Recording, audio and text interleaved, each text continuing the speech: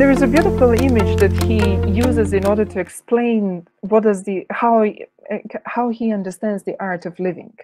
And he compares it with a carpenter or a sculptor interestingly enough. So he says that being a philosopher is not much different than being a carpenter or a sculptor of oneself. A carpenter works with wood okay. Shapes it with the mastery of his skill. It is the medium in which he expresses an idea. Okay. And the same is with sculpture.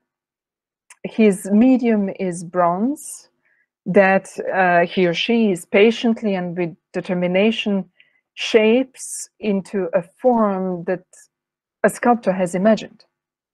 While the medium is different the process is the same it requires vision, determination, uh, patience, effort, enthusiasm, love, in order to make what we have envisioned a masterpiece. And so you can imagine that not much is different with our life. Uh, and what Epictetus suggests is that our life becomes the medium on which we can practice the art of living. Quite a wonderful idea, quite a beautiful image um, and to work with life in a such a way uh, that I'm able to improve as a human being. And so that I'm able to strengthen my character by awakening this latent potential of wisdom that is within me.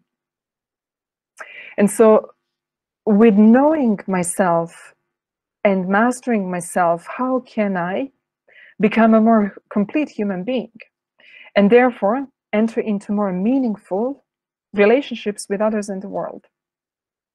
And through this process of discovery and practice, he would say that we can experience a life that is filled with meaning and dignity. And so it enables us to build inner stability or tranquility, even in the hardships of life.